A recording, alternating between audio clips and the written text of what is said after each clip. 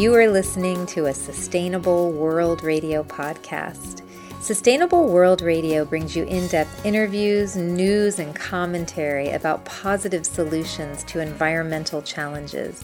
Solutions that adhere to the permaculture ethics of earth care, people care, fair share. Are you interested in learning more about permaculture projects around the globe? How to plant a food forest? Restorative design or ethnobotany? Then stay tuned for Sustainable World Radio. I'm your host and producer, Jill Cloutier.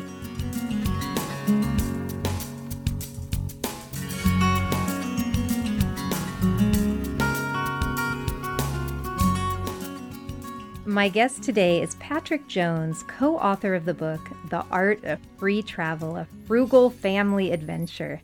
Patrick and his partner Meg Ulman are artists, writers, and videographers who live on a permaculture plot in Daylesford, and I hope I pronounced that right, Patrick, Australia. And Patrick and Meg and family just went on an amazing journey. Um, and I just want to welcome you to Sustainable World Radio first, Patrick. And I can't wait to talk about your trip and everything you learned on that trip, or a few things you learned on that trip. I'm sure you learned a lot. Oh, thanks so much, Joe. It's a pleasure to be here. And so, Patrick, you and your family embarked on a 14 month adventure riding your bikes along the east coast of Australia. Can you tell our listeners a bit about the route you took and the total number of kilometers that you um, rode on your bikes? It's, it's really incredible.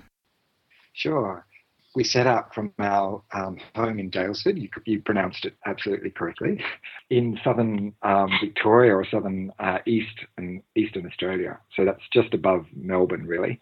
And we headed inland for the first thousand k's up over the high country, the snowy mountains and the blue mountains, etc., etc. And just above Sydney, we got onto the coast and then just crawled very slowly up coast roads, big highways, little roads bush roads. We followed Google Bike a few times and ended up on no hmm. roads at all, but in paddocks. Uh, and slowly and surely, we got up to almost the tip of Australia. Uh, our most northern part was a little Aboriginal community town called Hopevale um, of the uh, Yolgu Yimithirr people. And we were guests uh, of elders Tim and, and Elaine McGreen there. And that was such a highlight. But the reason why we went so slowly is that we wanted to record all the freely available forageable plants, mainly plants, some mush- mushrooms, and um, we certainly snared rabbits and caught fish as well, but mainly mainly plants along the way that, that are that are either indigenous, so traditional bush tuckers, or newly new, newcomer species, you know, otherwise called weeds and of which there are, are, many. And so that was kind of the purpose of the trip to go as a family, to travel slowly, to have like a, a, a year long at least, it ended up being 14 months, um, a year long treasure hunt uh, for all the different free foods we could find along the way. You know, it's really an incredible journey, and listeners should know that it wasn't just you and Meg on your journey. Can you tell us who um, came along for the ride? We left with our 14 month old baby Woody, who grew up on the bike. We also had our 11 year old Zeph, who turned 12 on the, on the trip, and our little Jack Russell, Zero, who, who was our chief rabbiter and biological GPS. You went on this 400 day journey. What led you to embark on this besides wanting to document the, the free food and foraged food and mushrooms that you might find along the way? Well, I, I just finished writing my doctorate um, on walking for food, which was really around remodeling economies, uh, localized food and energy resource economies.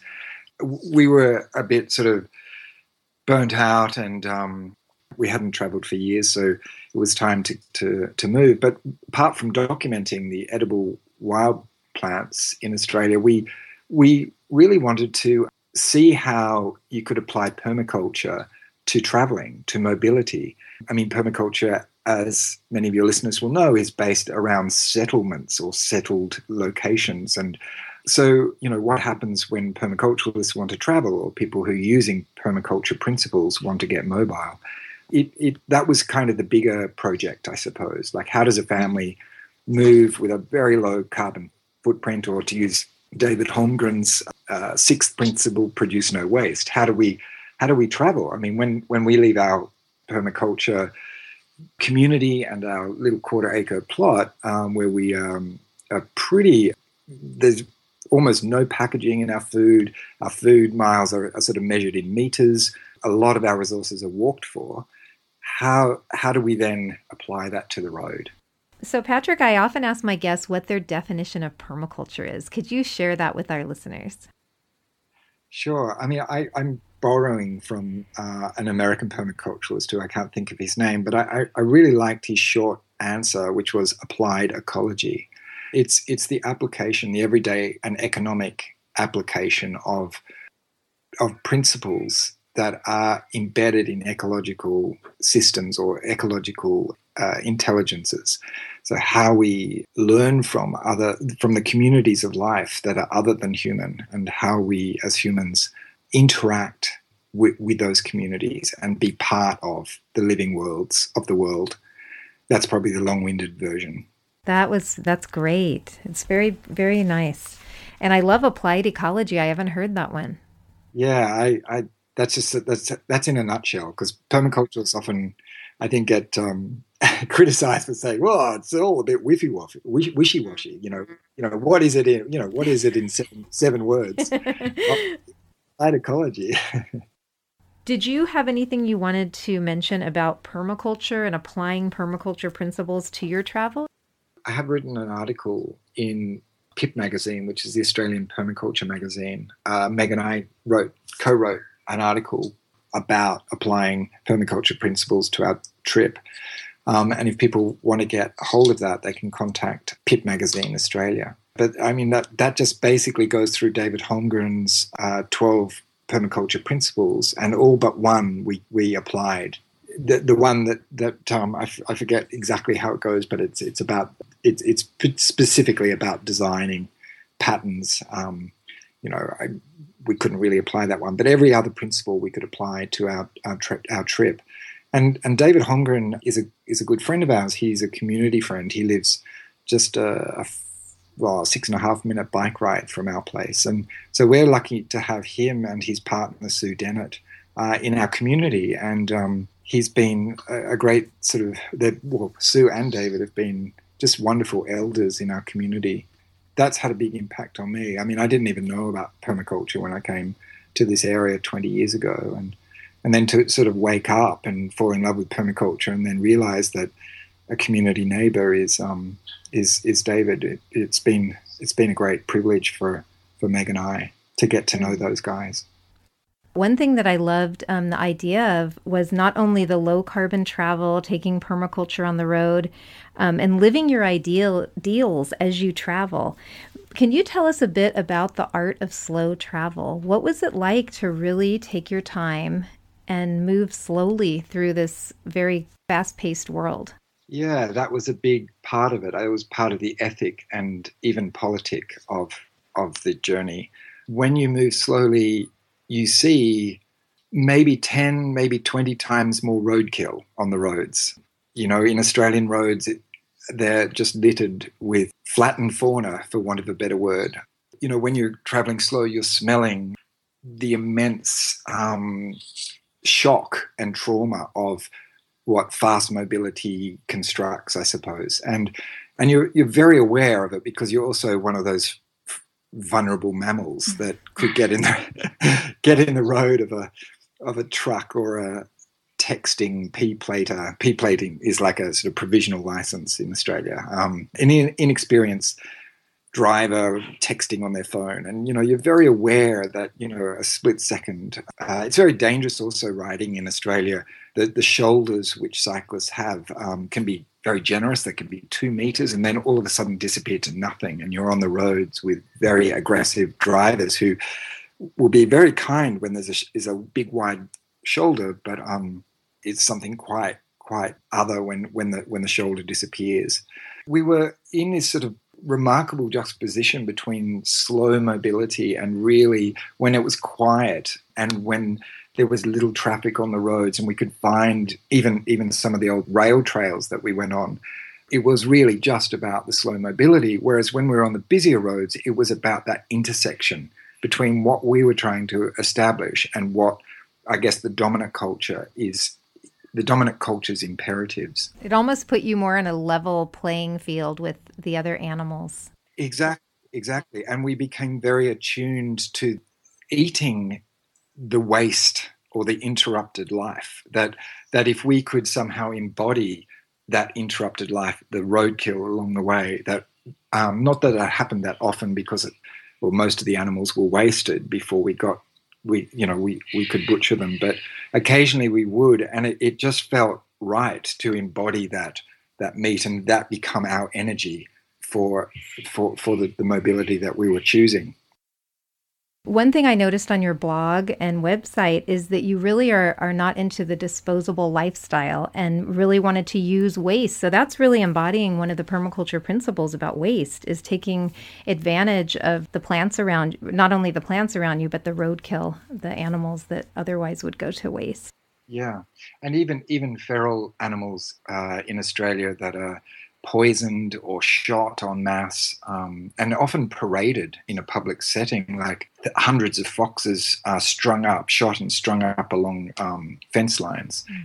Um, and of course, foxes and feral cats are seen as number one enemy, like weeds, and they have to be poisoned with the, you know, the latest technology chemicals and that kind of relationship to, to the land is you know is is very simplistic and monocultural in its approach. So one of the things that i guess you know has become an ethic slash politic of, of our households and certainly broader there's a lot of australians thinking like this that if if an animal is uh, like a feral animal that is going to be shot or poisoned is actually rather incorporated into a diet so that mm-hmm. we're not reliant on agricultural meat, which I, you know, which as we all know is highly unecological. Whereas the ethics of an animal living its life outside of captivity, if numbers grow alarmingly, like feral cats and foxes, and they have an impact on on other animals and other species and, and the environment, well then surely if we are to eat meat, if we've made that choice to eat meat, then these are the meats that we would prefer to uh, have in our diet. It's a very complex issue. Um, and so, even though I'm not against farming per se, there are great examples. Indigenous Australians pre 1788 were an agrarian culture. They've only been reported as chancy hunter gatherers, but they're for political reasons. But the, the new history and, and science that's coming out demonstrates reciprocal agrarianism across Australia in really sophisticated ways. And these are the locavore economies that our family regard very highly, and that I, I guess are trying to model in a modern modern world context, mm-hmm, which can be hard to do you left your permaculture plot, so you're already practicing permaculture on the plot, and you were a forager or have been a forager for quite some time. Did it ever was did it seem like a daunting task to take your um, partner and two children and your dog on bikes across Australia? Uh, did you ever stop and question and think this is impossible, or did you guys just go for it? Well, when I came up with the idea, I, I had to persuade Meg, it took a little bit of persuasion, but then when, when she was on board, we were both just so excited about it. So, you know, as an idea can be extremely exciting in its sort of infancy. But then as we got closer to the leaving date, we both became extremely anxious and nervous and thinking, oh no, what the hell have we committed to? And um, is this going to go well? We've done a little bit of cycle touring in Australia before for, you know, three days here, four days there these are dangerous roads. These are not car friendly roads like they have in Holland and and and uh, other countries. But anyway, we were committed to it, and we took off with knowing about hundred species from our bioregion or climate climate zone that we would regularly incorporate into our diet, um, mainly plant species. And so, with that hundred species, we sort of inched bit by bit north and learnt and and came back basically after 14 months with 256 species, which we list at the back of our book, both the common and Latin names. and so, yeah, that, as, as, I said, that, that includes both newcomer species, uh, agricultural weeds and garden escapees, and also traditional bush tuckers uh, of Aboriginal communities.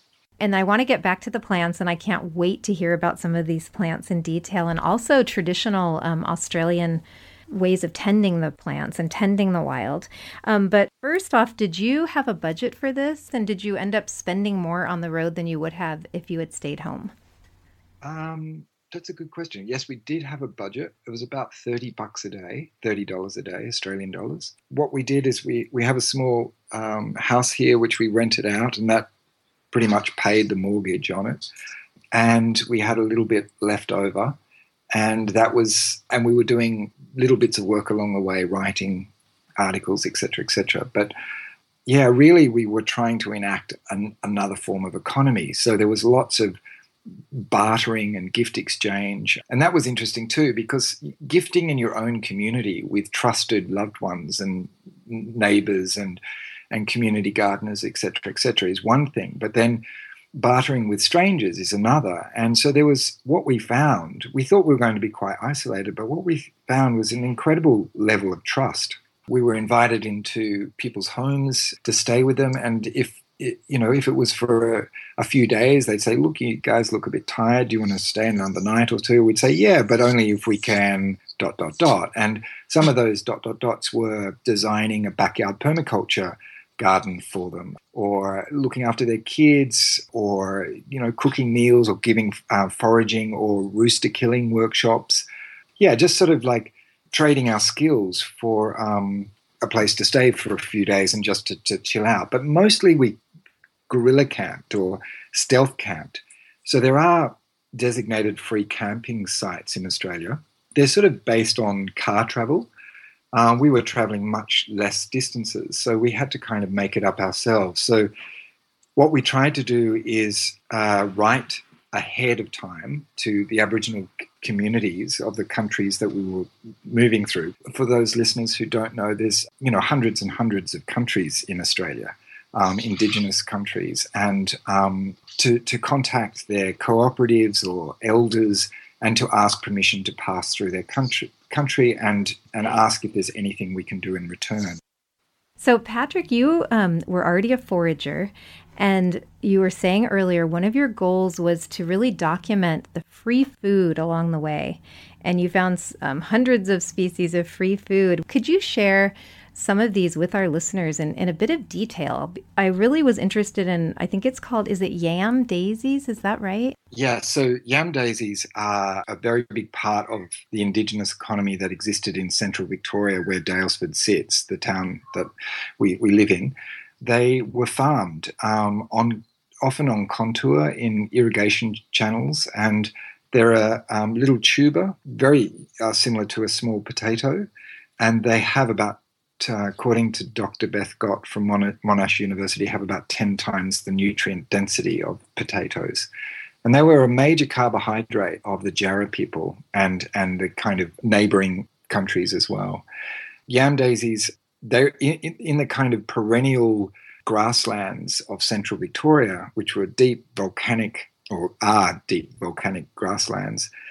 Yams were just a very significant part of Jarrah people's food source. They really just exist now in marginal forested areas because the the perennial grass grasslands of central Victoria have been um, compacted and eroded by sheep mainly, and other forms of farming. So these the soils that point of contact explorers came across were spongy and aerated and um, light. And, you know, within a few years, thousands and thousands and thousands of sheep moved onto that land. And so the yams were pretty much gone. That economy was uh, destroyed very quickly. I think the, the yams are an interesting plant because the, the picture of what point of contact explorers saw in terms of Aboriginal economy and what the pioneers, three or four years later, following the explorers, saw what was two different economies. because the yams went, the farming went, the, even and the wheat belt went further up in the north, the wheat, the indigenous wheat belt. Basically, the the people that moved onto the land and dispossessed uh, the indigenous communities um, very quickly just saw hunter ga- chancy hunter gathering. And, and it also suited the political ambitions of England at the time to say, to use the Latin term terra nullius, which means empty land. There's no one of any significance here. Whereas if they had actually seen agriculture, if they'd seen the agrarian communities that the explorers have written down and seen, that would have meant that England would have had to use another type of language. I think there were three. England would use either invasion, treaty, or terra nullius when they took over lands. So they chose terra nullius, which was just is just the great lie of Australia. So yam daisy farming, which is documented in drawings and early point of contact descriptions from Europeans, yeah, really kind of central to what I, I call ecologically intelligent economies that, that existed from where we live now. So even though we um, are trying to grow yams in our in our community gardens and our gardens, and that knowledge is returning, there are also other things that have come here, such as dandelions, such as plantain, that are much more global plants, but still can we can still have a similar sort of relationship in terms of cultivating them and using them in low impact economies, local economies. You know, that is just fascinating about um, Aboriginal farming and tending the land. And it sounds like it was tended in a much more um, respectful relationship with nature. Can you share with us anything else you want to share about Aboriginal land tending? And then I'd love to hear about some more plants in specific. Sure there, there is a remarkable book that came out uh, in Australia in 2014 called Dark Emu, um, written by an Indigenous scholar called Bruce Pascoe. And on our recent book tour, we dropped in to see Bruce at his home where he is cultivating yam daisy seeds and he, he gave us some to, for our community gardens. But his work, Dark Emu, is sort of leading this new scholarly era, really, in, in rewriting Australian history. If, if any listeners are interested, I, I urge them to, to find a copy of Dark Emu. Yeah, so in terms of plants, really, I guess the the pharmacopoeia of food medicine plants that have come from Europe and Asia and Africa are probably, and you know, have you know, are what I suppose are called weeds or um, invasive species, are the plants that we have really, our family has really identified with. Partly because some of them are from our own indigenous or peasant uh, ancestry. They are the food medicine plants that our, our ancestors incorporated into their diets. As I said before, things like mallow and plantain and dandelion and hawksbeard and catsweed, these are, are all wonderful plants that we we tend to, to, to utilize them in a very simple way on the road um, and even at home, where we cook up, especially the bitters, the, the wild bitter greens, boil them up, squeeze out the water after we'd boiled them for about five to 10 minutes, and then put them on a chopping board, cut across them quite rigorously with a sharp knife, drizzle olive oil, sprinkle salt, and lemon juice. And you have pretty much a Greek peasant horta dish. And I think this dish is, is, you know, is used around the world. But that Greek horta dish is so, you can do so many things with it. It's such an amazing way of getting a whole lot of vi- vitamins and minerals directly hand picked that haven't been stored for long periods of time, that are otherwise sprayed or hated or loathed by local councils or you know other forms of land manager, management. Uh, they're free. You know, these great foods um, haven't traveled great distances. They they they travel themselves. They plant themselves.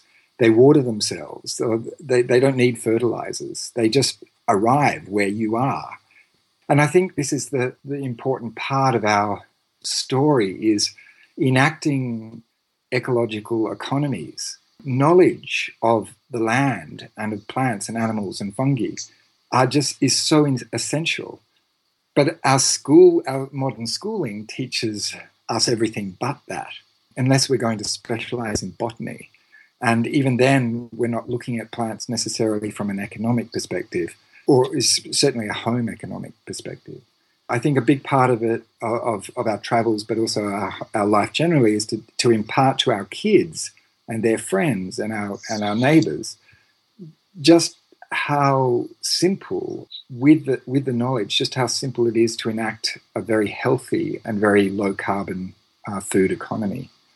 Even if weeds and feral animals are only 5 to 10, maybe 15% of our diet, depending on the season, that's 5 to 10 to 15% that we're not growing large scale industrial agriculture, that we're actually mitigating, we're going, we're going backwards. And of course, large scale industrial agriculture grows populations and populations grows large scale agriculture. And it's just this unstoppable, basically deforesting machine that, that's created by an economics of disregard or extractive economics um, to incorporate foraging, even if it's a small part, where actually that small percentage is not participating in that bigger economy. It's actually sending it into degrowth.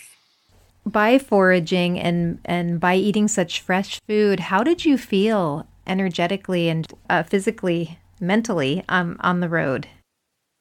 we we felt great most of the time, like incredibly vibrant. Sometimes we would just do too many kilometers and need to rest and feel just physically tired. But but it was the times, if I could flip that question, it was the times where we, we had hardly anything to forage and there were just ro- truck stops. And we found ourselves eating really crap fast food. That's when we really noticed just how, you know, poor energy in means poor energy out. And we really kind of suffered on the bikes. We, it was, you know, fast and sugary that would sort of spike our energy levels up and then we'd crash down. Can you share with us one of your favorite meals on the road? And maybe I'm, I'm also curious about some of the fruit that you would find. There was there was a there was one camp just uh, north of Mission Beach in far north Queensland where we stayed for a week and we had fresh water coming onto the beach um, to drink from we had uh, a jetty just down the way a bit where I would catch really beautiful ocean fish. We had coconuts um, that had either fallen off and or fresh up in the trees, and and some of the trees were on such a lean that we could actually jemmy ourselves up there and, and, and cut off some fresh coconuts. We had a thing called snakeweed, which is a really great medicinal tea that we drank on the billy, and a whole pharmacopoeia of um, agricultural weeds.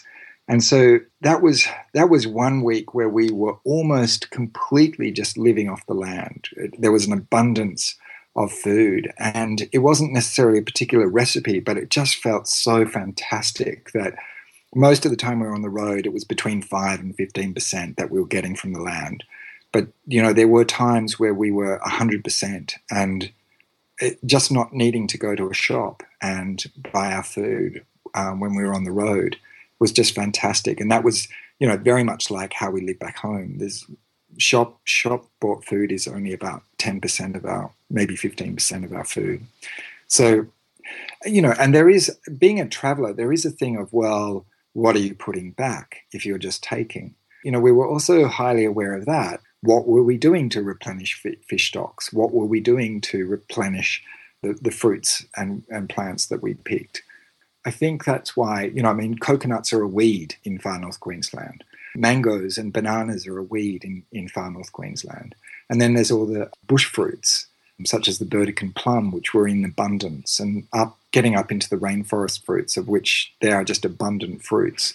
So I think just traveling lightly and not polluting, not creating uh, lead and PCBs and dioxin and detergents, polluting detergents that come from cars and go into river systems. By by by traveling with as little pollution output and uh, and as gently as possible is a kind of regenerative economy because your impact is much lighter. Also, I think the weed and feral, like concentrating on weed and feral cultures, meant that we're kind of biologically harvesting what is getting sprayed or what is seen as, as, as a problem problem plant or animal anyway. So even though we were really interested in bush tuckers, we also were mindful too that there was certain traditional Aboriginal foods that really we had no rights to harvest or to gather, um, that were you know protected um, for environmental or cultural reasons, and so um, we we we did we certainly documented them as foods, but we we didn't feel that we could um, we could collect that food. Mm-hmm.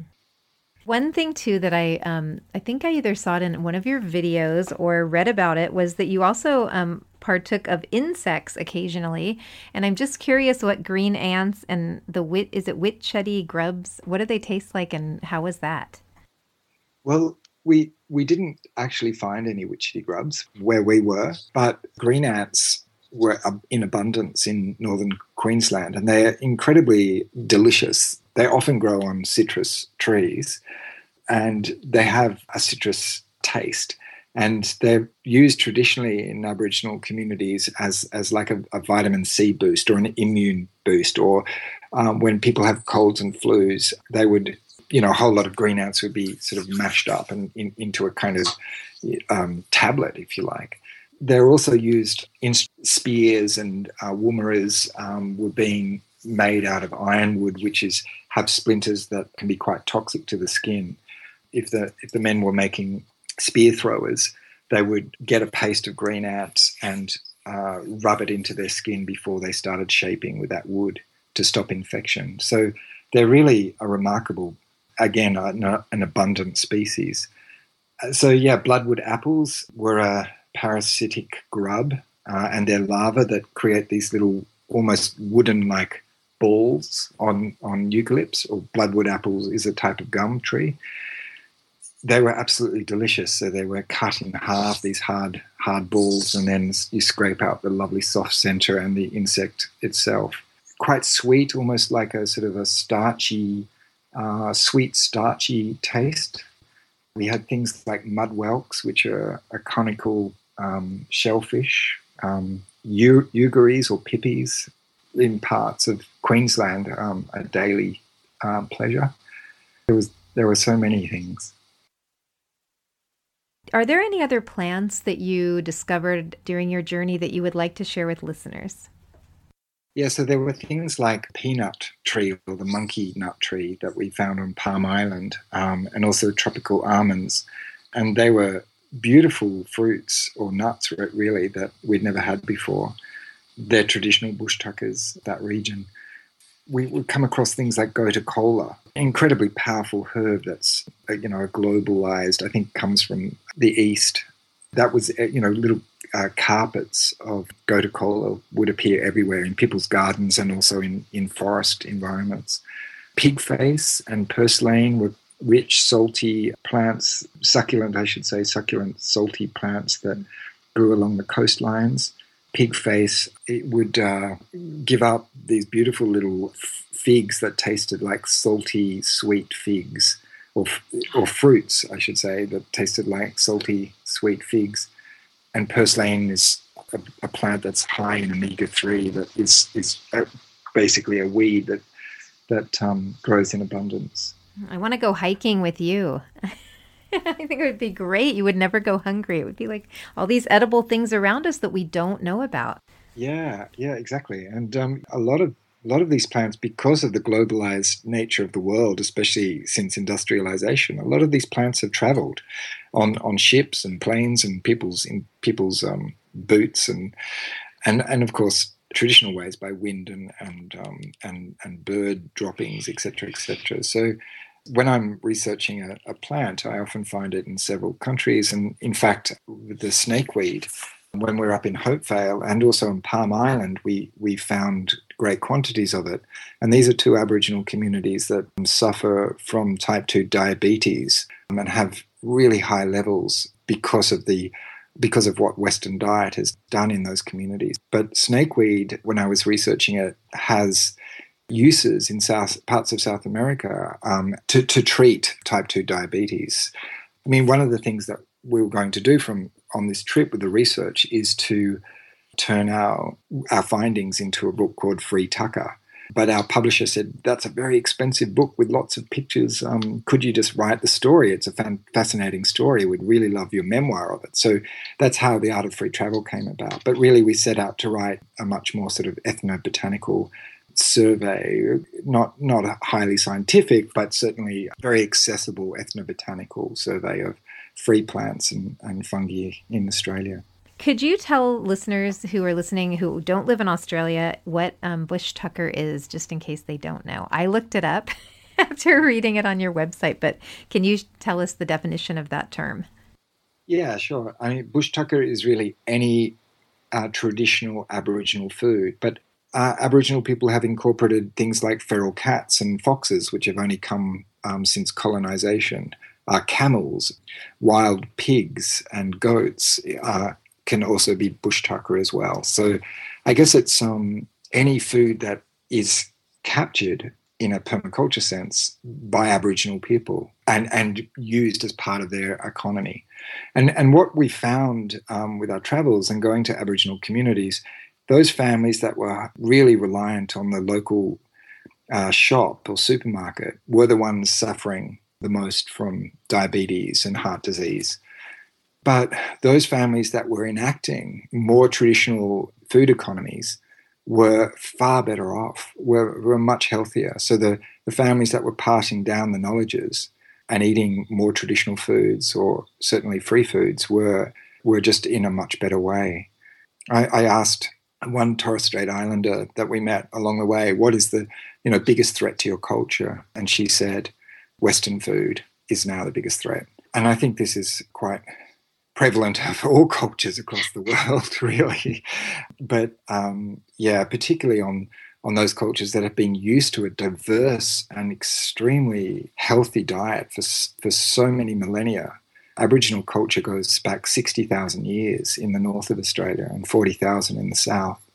Bruce Pascoe, returning to his book, The Dark Emu, claims he has evidence to suggest, or archaeological evidence to suggest that bread making goes back to 18,000 years in Australia. So, Aboriginal people, he believes it'll be, it's his thesis at the moment, but he believes it'll be proved that uh, Aboriginal uh, cultures pip the Egyptians uh, by about 10,000 years in terms of bread making.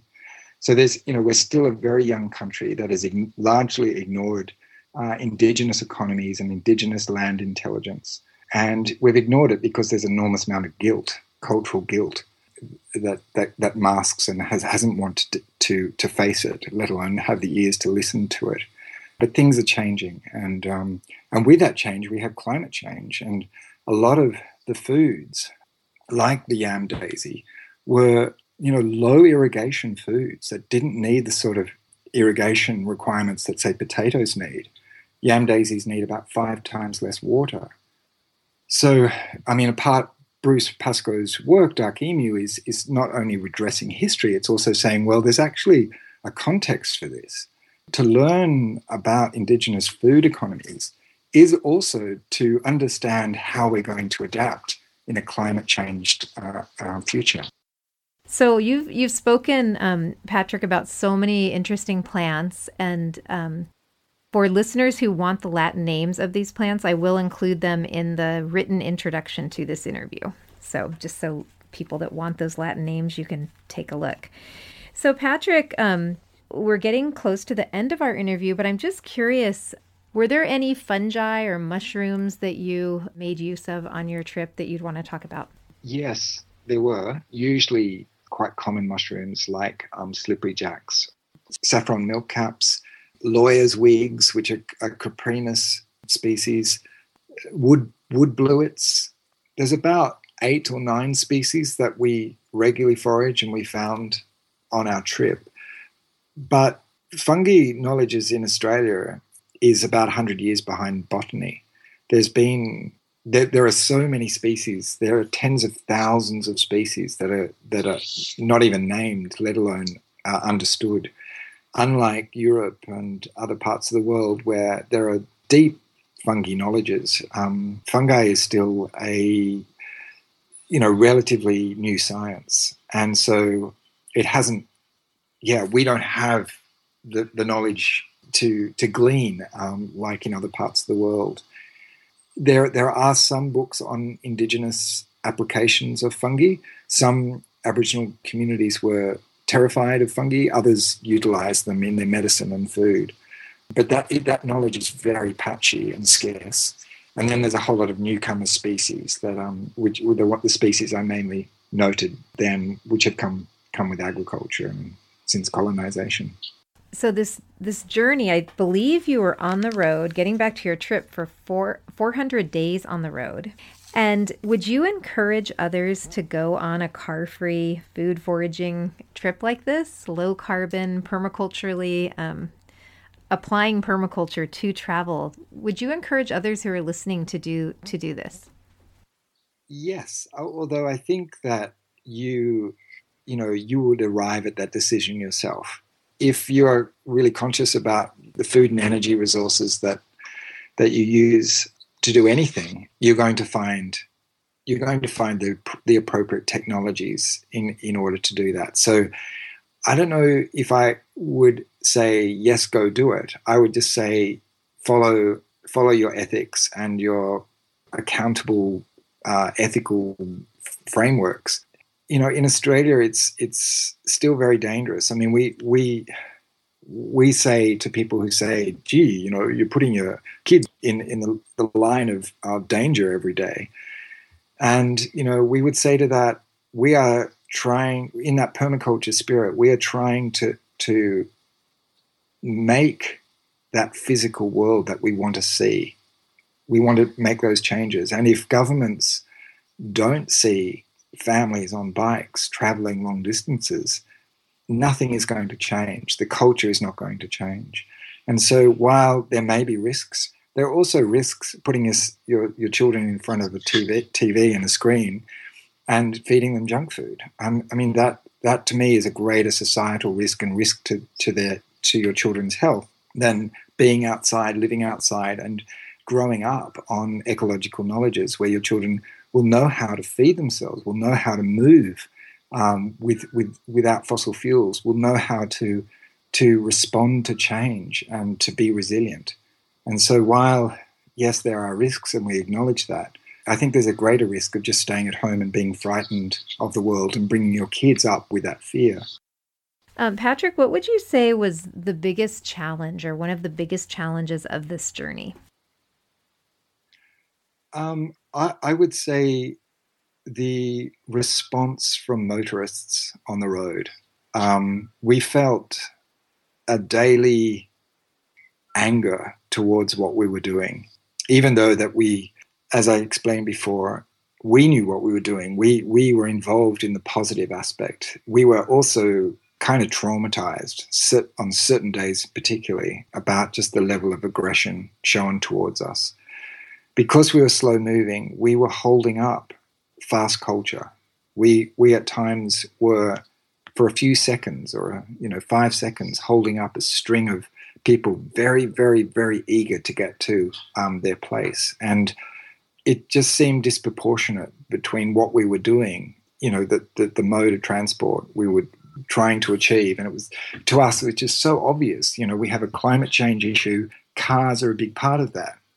And yet there was no kind of well there was there was definitely encouragement i shouldn't say that and and there were very respectful and courteous people but i would say around 40 to sometimes 60% of motorists had absolutely no time or could not could not see why we had chosen to travel like that and did not have any respect for it. And and i think that you know in one sense you know I should say, well, of course, you know, this is the culture we live in. But on the other hand, it was a daily sense of sadness that that that is what where we've ended up. That this is what technological progress has produced: manic, stressed, anxious, abusive motorists trying to get somewhere very quick. And I think that giving up probably 60% of our dependency on the what I call the fossil fuel or um, you know, mon- global monetary economy, it's it's enabled us to be so much more time rich, and so that that is going to impact with time poverty and and and and uh, and on the road that is where it clearly intersected and sometimes very dangerously. Did time slow for you on your journey? Could you feel it? And was it a visceral thing that time seemed like it slowed down? Yeah, absolutely. And again, a bit like the when we were able to get a bit of junk food um, on the road, those times we, we actually ran out of time to, to ride all the way back home. It's about 4,000 kilometers up to the to the tip of Cape York. So it's not we, we rode about 6,000 kilometers in a, in a sort of direct sense, but then we were riding a whole lot more. So I, I would imagine it'd be more like 9,000 kilometers over the 400 days that we actually rode. But it's about 6,000 if you drew, drew a straight line.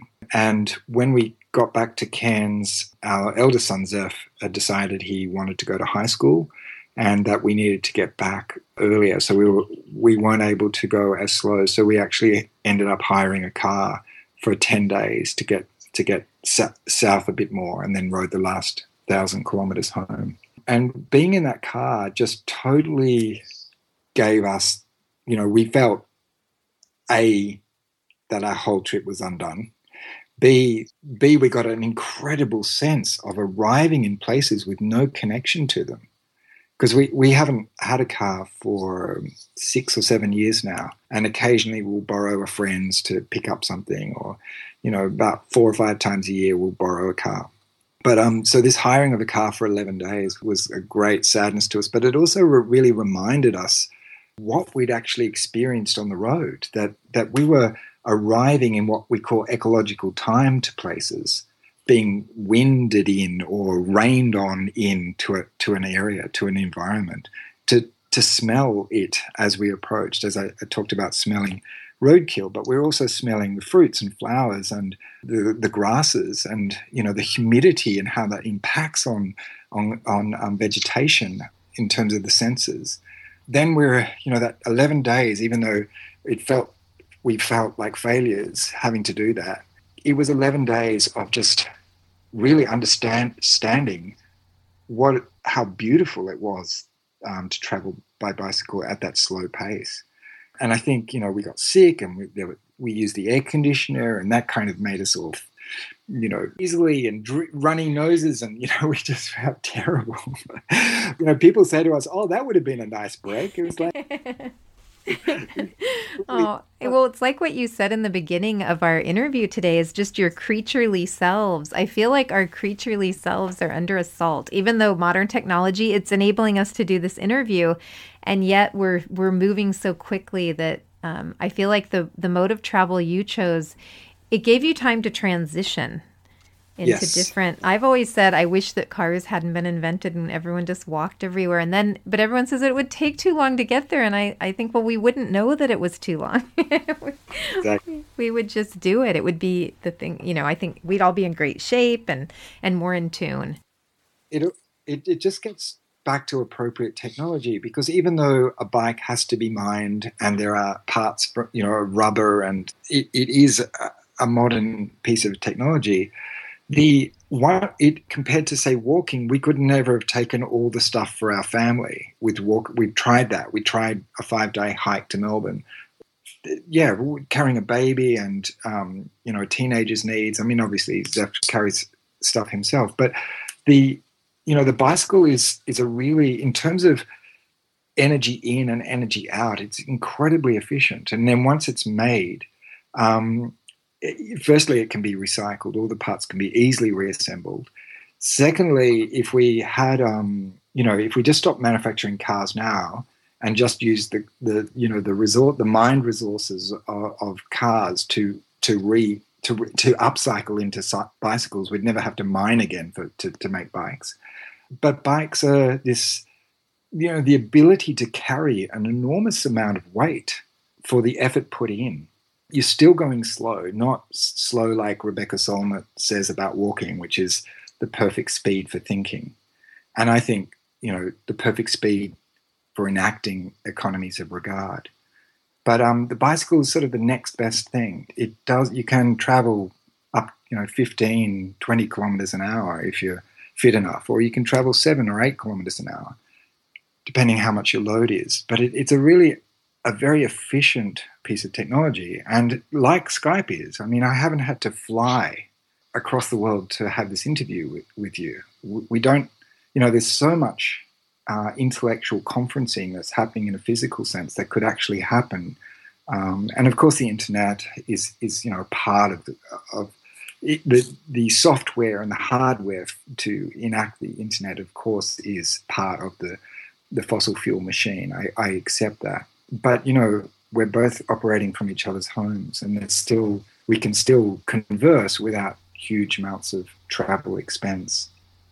So, Patrick, we're getting to the end of our time together. This has been a really fascinating discussion that I've we've had, and I'm wondering what now that you've been home for a while, um, what do you miss most about being on the road? Um, I think the simplicity, living outside, the housework. As I would joke to Meg, I would scrape in about a minute, scrape the bottom of our tent out with leaves and a little bit of dirt and throw them outside and say, hey, the housework's done. you know, just basically, yeah, there were other pressures on the road. It, it, it didn't, it wasn't a pressureless existence, but I think also the intensity, the physical intensity of it is, was wonderful. It was draining, but, and then the social intensity, like just realizing that community can be built while traveling. That that was a great um, discovery for us. We thought we'd be quite isolated. Again, through social media, um, people would contact us through our blog or our Facebook or whatever page, and um, and uh, and say, "Hey, come stay. I can see you coming coming our way." And so, I, I think you know, sharing stories and narratives was a big part of the thrill for us on the road. Patrick, if you could share with our listeners where people can find your book and also your website. Well, the website, if you just uh, put into your search engine artist as family, you'll come up with our blog. And for all our other social media handles, um, just at artist as family. And our, our book is um, available in Australia and New Zealand at the moment only, sadly, but it is an audiobook and an ebook which people can buy anywhere in the world. Uh, ask your library, local library, to get it in. Yeah, it's called The Art of Free Travel and it's put out by NewSouth Publishing. So, Patrick, thank you so much for spending um, this time with us today. And do you have anything else you'd want to add to um, share with listeners today? Only that feel free to get in touch with us through our various on, online sites. If, if you if you have further questions of us or you want to find out more about um, the type of travel, or the time, the type of economies that we're trying to transition to, and even about permaculture and poetics, which is my kind of area. Like, how do we create a permaculture poetic in in our in our home lives with our kids as a, as a creative response to change and a narrative based response to change. Well, Patrick, thank you so much for joining me today. And um, listeners, you can find Patrick and Meg online and look for their book, The Art of Free Travel, a Frugal Family Adventure. Thank you so much, Patrick, for joining me. It's been a pleasure, Jill. Thank you. You've been listening to a Sustainable World Radio podcast. You can find us online at sustainableworldradio.com and also on iTunes. For more information about permaculture and ecology, visit the Sustainable World Media YouTube channel, where you'll find videos about permaculture, aquaponics, organic gardening, rainwater harvesting, and much, much more. Sustainable World Radio is a listener supported program. If you like what we do, please consider making a donation to the show. I'm your host and producer, Jill Cloutier, and thank you so much for listening.